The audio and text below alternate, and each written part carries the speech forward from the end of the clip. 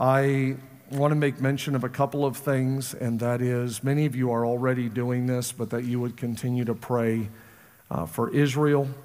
Uh, the Bible says, pray for the peace of Jerusalem, and uh, let's just continue to keep that in our prayers. Just everyone being impacted right now, um, and that you and I will continue to keep our faith in God's word. You know, a lot of times people will say, What should I be doing? Was you want to live right, you want to stay right, you want to keep your faith in Jesus um, and your confidence in His Word. Uh, we just continue to pray, amen. Uh, so, so glad that you guys are, are here today. Uh, I do want to continue our series, and I will be mindful of the, of the time. Uh, but I want to talk to you today on uh, the continued subject Have you lost your mind? Can we say that together? Have you lost your mind? Have you lost your mind? I think sometimes, if we were honest, we would say that we could even question our own selves at times and wonder, have I lost my mind? You know, we call it scatterbrained, or we'll say things like, maybe that's just in my head but wondering, have I lost my mind?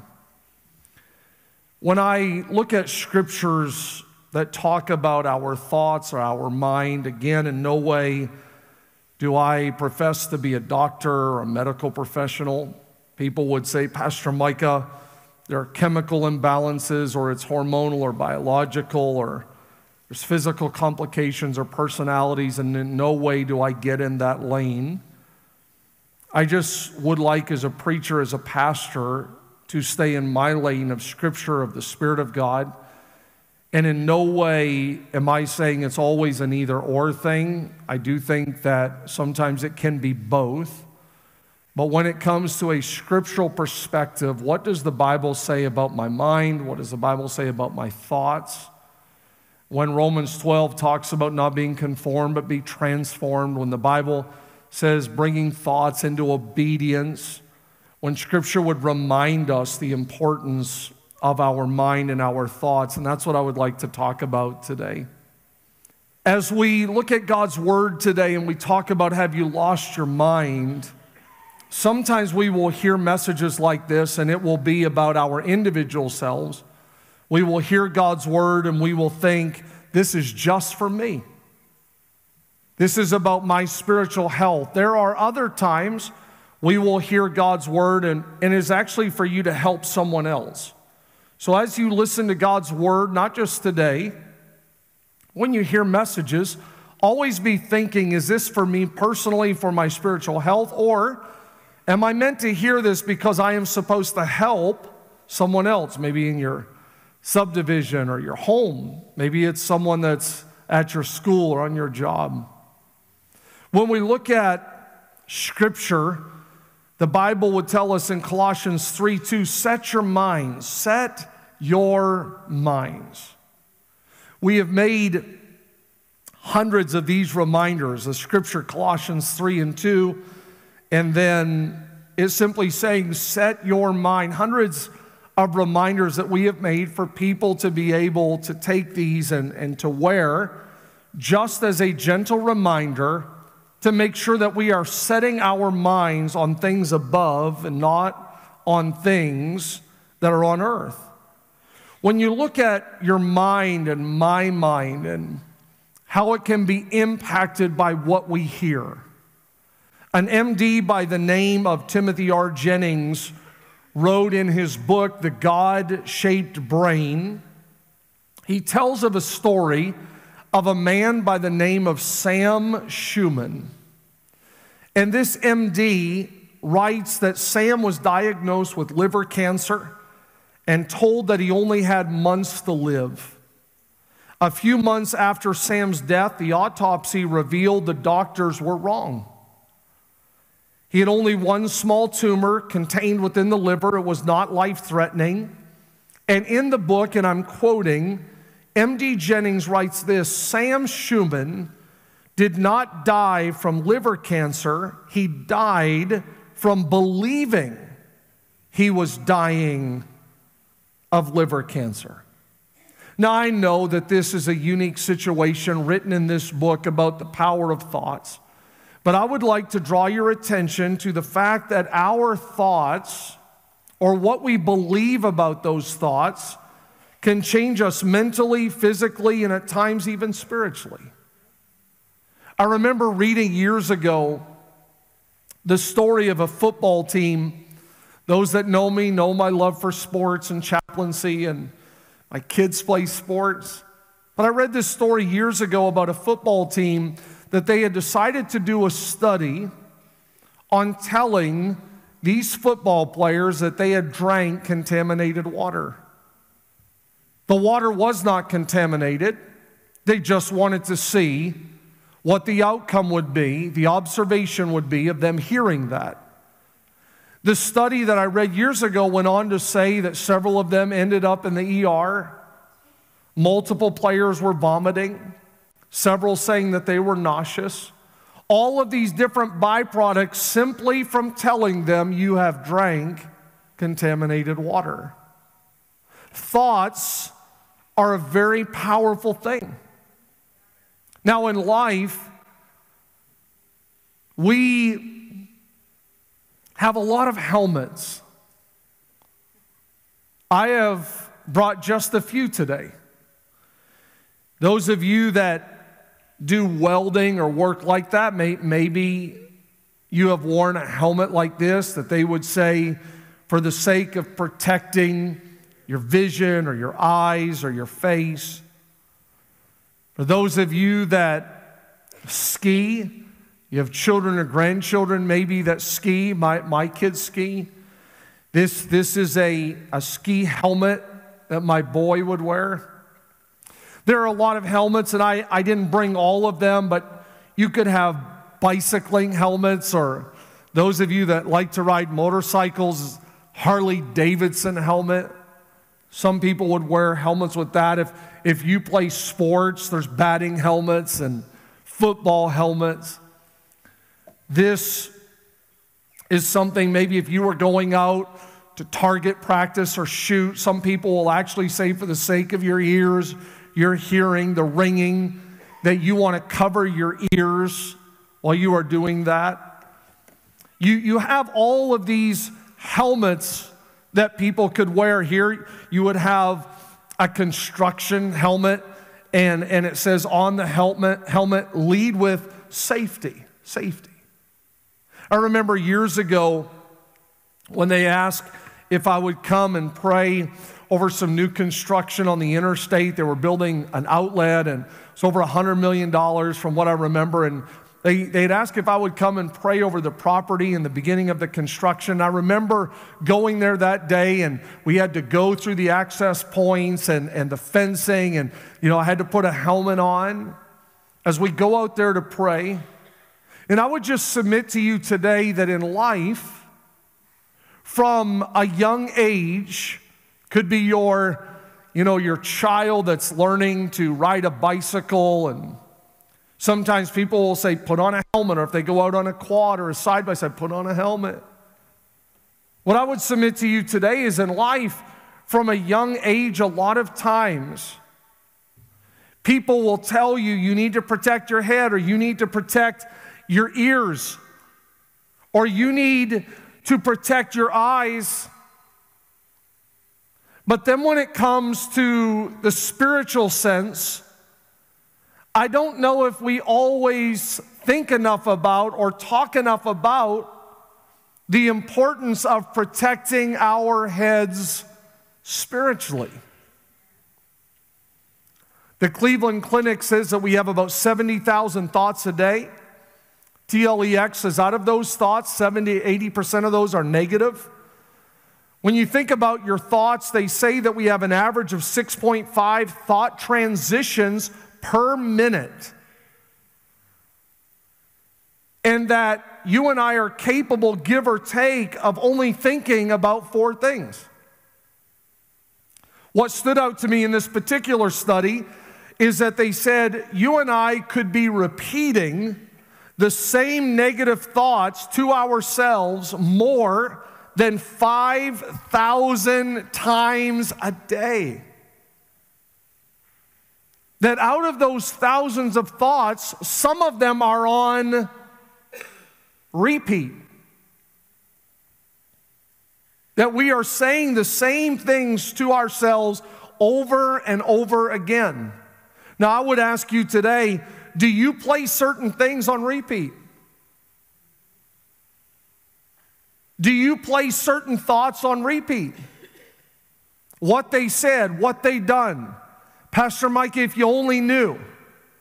Is that something that is on repeat in your mind?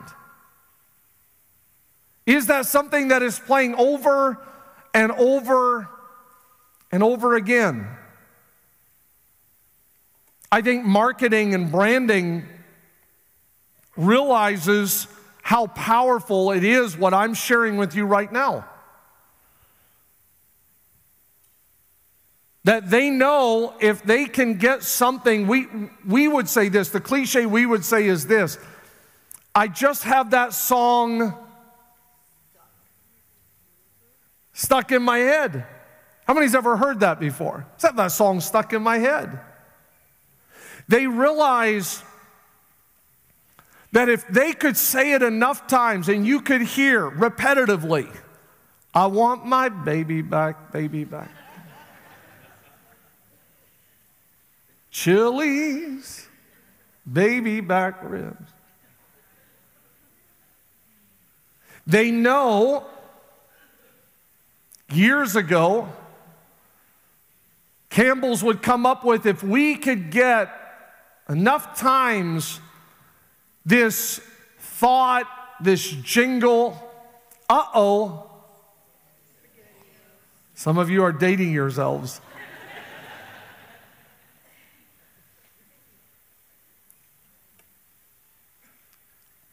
They would know that if we could just get your mind to process over and over and over again that every kiss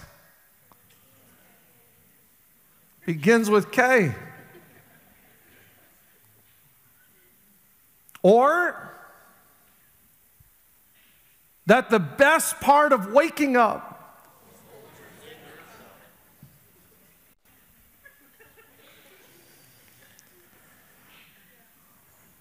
Sometimes it's, it's not even the full words. It could just be like, ba da ba ba ba.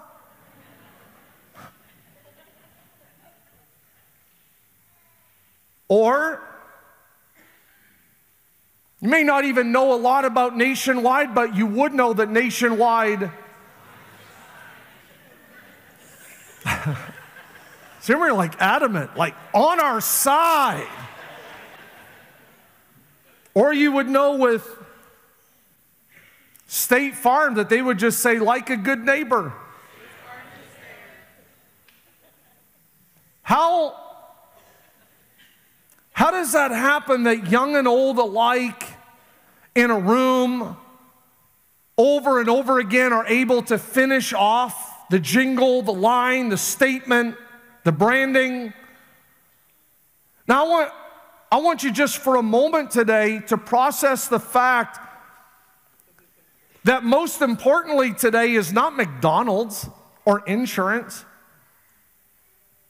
Most importantly today is not SpaghettiOs or some jewelry from Kay Jewelers. If your mind is able to know all of these things on repeat, what are the chances that your thoughts or even the enemy is able to replay over and over and over again in your mind? And here comes the hurt again. Here comes the pain again. Here comes the words again. Here comes the letdown again. And when it says these thoughts could play on repeat in our minds, what are the chances that you and I are allowing life to just play repeat over, over, over, over, over and over again? Things that are pulling us down, that are dragging us down. No wonder the Bible would tell us that you and I have to take thoughts and we have to bring them into captivity or into obedience to Christ that these thoughts will come, but they don't have to consume. I've heard it said like this that we will control our thoughts or our thoughts will control us. The Bible says in Romans chapter 8, those who are dominated, those who are dominated by the sinful nature think about sinful things. But those who are controlled by the Holy Spirit think about things that please the Spirit. So, letting your sinful nature control your mind, where does it lead to? It leads to death. But letting the Spirit control your mind leads to life and peace. Let me ask you a question today Who controls you? If you personalize it, who controls me? Or maybe you could ask this, this question today Where am I being led? Now, we call it a train of thought. A train of thought. The scripture here says if you are led by the natural, if you are led by the flesh, that's going to take you somewhere. If you are led by the spirit, that's going to take you somewhere. So it's only fair to ask who has access to my mind? Who is the leader? Who is the one that is deciding the direction of my life? If I'm going to get on this train, I would like to know where it's going. When you think about who has access to your mind, is it the news? Is it social media?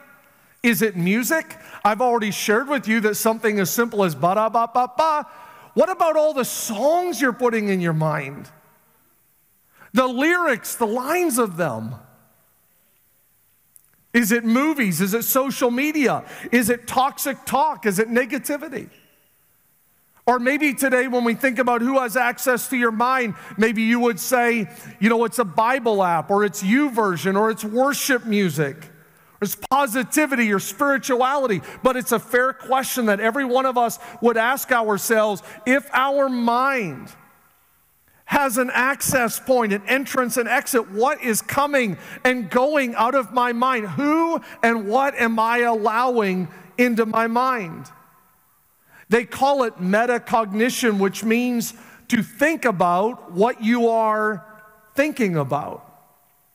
Maybe today, as we share 70,000 thoughts and 500 of them intrusive or negative, up to 5,000 of them being on repeat a thought past 14 seconds, give or take, could become a meditation.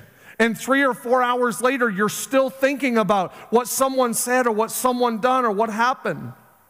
And it's one thing to hear all of that, but what are some tools that, that you and I could utilize to say, okay, I want to be transformed, I want to be renewed in my mind?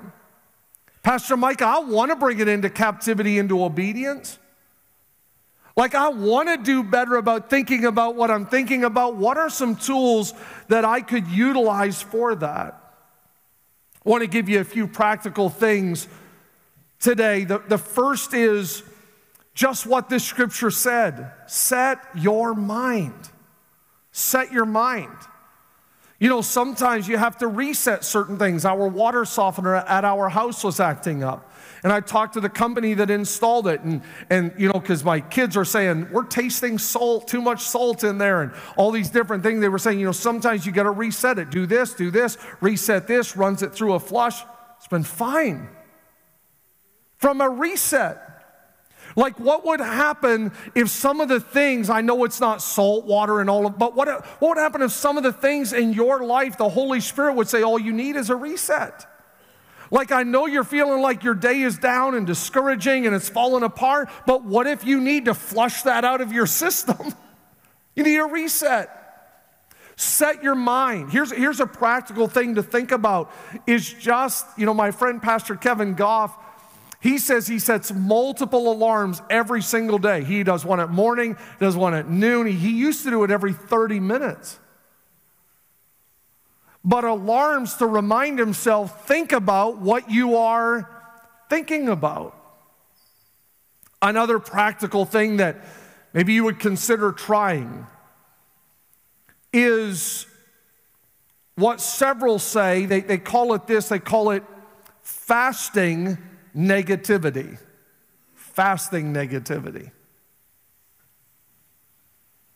It's actually amazing when you hear about it or read about it because they say that just telling yourself you're fasting negativity, it comes on the video, the story, the, the TikTok, the news, and you're like, you know what? Because they, they, said you actually uh, give yourself a manageable time frame. I, I, I was listening where it said take seven days and just say, I'm going to fast negativity for seven days. I'm not watching that. I'm fasting negativity. It also said if you have someone that loves you, it's not a demeaning thing, it's not a degrading thing, it's not something where that spouse or that family member or friend is telling like, here you go again. And no. But if you have someone who loves you and cares and knows that it's hard for you to have a positive life with a negative mind, that if you have someone that could just tell you, hey, just a reminder, what you're saying right now, what you're speaking, I'll never amount to anything and we'll never make it and it's always falling apart. Why does this always happen to me? I always get the short end of this thing. Just someone that cares about you that, that, that could say, hey, we're fasting negativity. And so, again, maybe that doesn't apply for everybody. But when it comes to you, maybe something as simple as saying, I want to try fasting negativity. One thing that I have been helped with immensely over the years is something that my pastor wrote years ago. He just broke down the letters of the word faith. F A I T H, focus on the positives, affirm yourself, imagine God doing something good. Remember, 80% of your thoughts could think negative. So you have to work sometimes to imagine God doing something good. T, trust God always, and H, hope for the best. That is something practical, whether it's putting it in your Bible, by your nightstand, on your desk at work, maybe put it in your, your locker room, in your locker.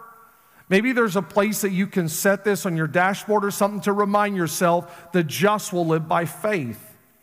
One thing that I have read that I work on, even as a pastor, I continue to work on this. Maybe this will help you. There are studies out that are called the study of mindfulness. Everyone say mindfulness. Now, I know this is super practical, but here's what I would like you to think about mindfulness. They say that most of our worries, some people have this number as high as 90%. Most of our worries are based on the past or the future. So, because our mind is pulled backward or forward, sometimes we struggle to stay in the in the now. And so you could be in the room with your children, but you're not really not really in the room with your children. Maybe your spouse is talking, but if at any point they were to say, "Do you hear what I'm saying? Are you listening? The reality is, we don't always hear everything they're saying because we are not mindful.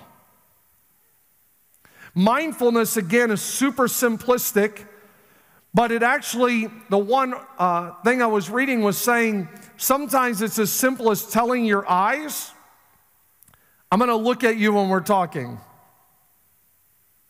When I shake your hand, right here, because if not, you and I can get out of the now.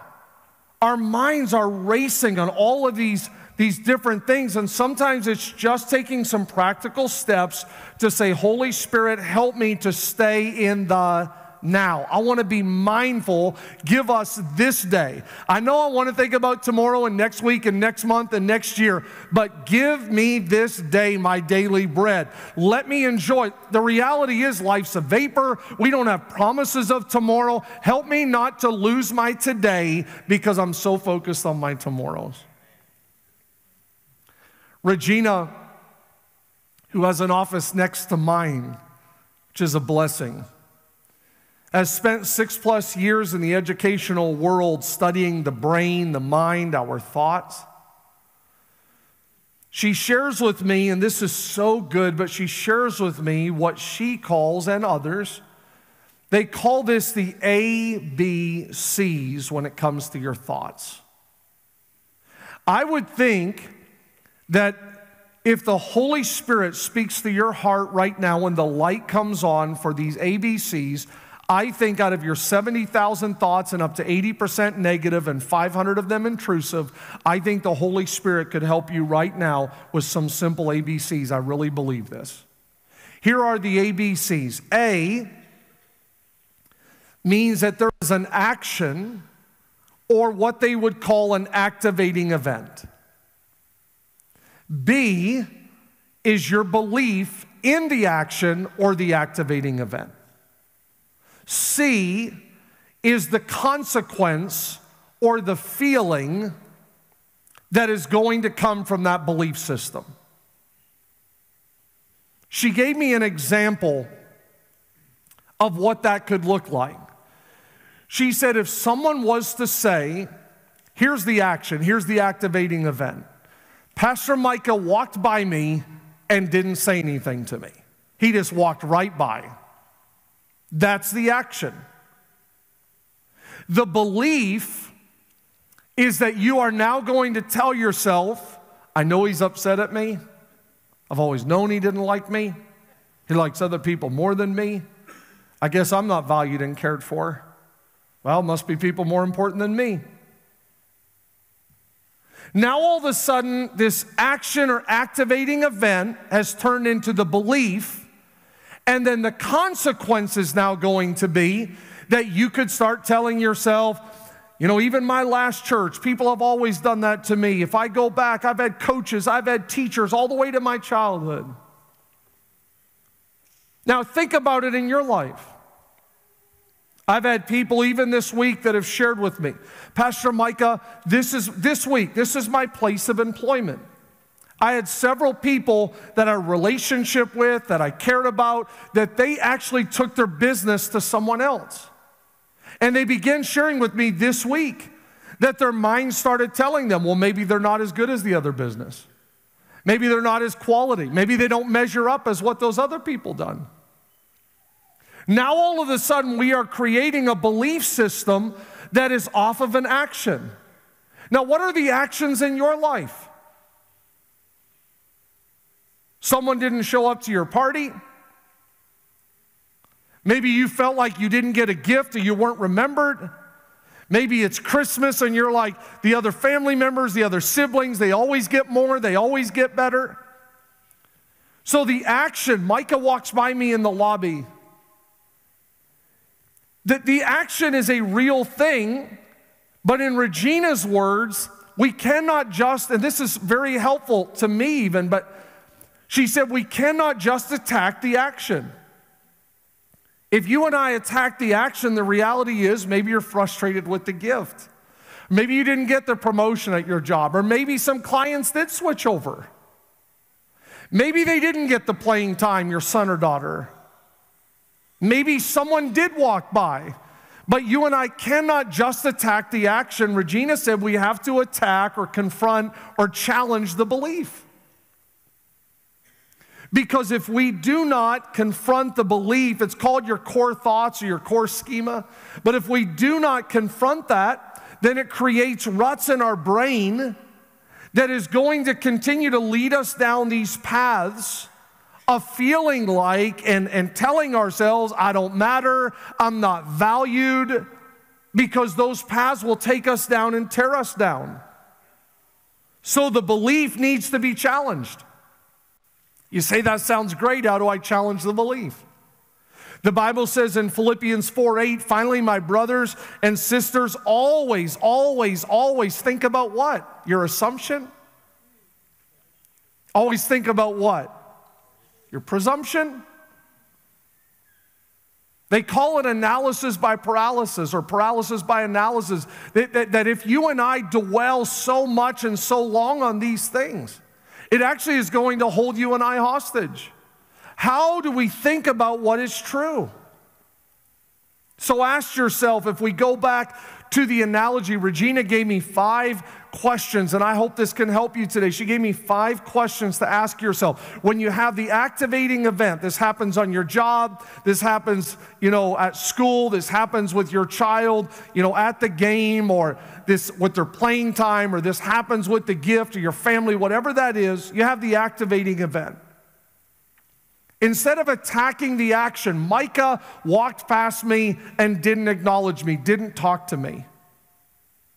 What's really at play here is not so much even the action, it's the belief that I am allowing to be created from the action. She gave me five questions when it comes to confronting or challenging the belief. Here's the first question Is it true? Is it true? The part that is true is Micah walked past. But what you and I cannot do is we cannot say, start saying it's true when it comes to I'm not valued, I'm not appreciated, no one cares. The second question is this if we take this thought to court, do we have enough evidence to win our case? We have several judges here in our church, and I was talking to one of them even today about this question. Today, I'm asking him if, if we were in court and we say, no one loves me. Everyone's out to get me. I know they're spouting, spiting me. Maybe it's because of this or that. Or if, if we bring all of that to court and we're, we're in that setting, and it's like, okay, so what brought us to this point? How do you know you're not loved, you're not valued, not cared for, you don't matter, everyone's out to get you? How do you know that? Well, he walked by me in the lobby. And then what? There is not always a then what. The then what is what I allowed to start playing over and over and over and over in my in my head. And the consequences that can come out of that. The third question she said is ask yourself is my thought based on facts or feelings? Number 4, am I taking this personally? Number 5, Am I jumping to conclusions? I had an action or an activating event, but I allowed my beliefs to run wild. I got on that train of thought. I started assuming it's probably because of this and then this, and before I knew it, I am at I am at this consequence now that could take me back 5, 10, 20, 30 years, and I could be saying, This is how it's always been. This was my childhood. This was in school. This was prior relationships. This was. Because you and I don't always, I know you're not going to put on a helmet today, I get that.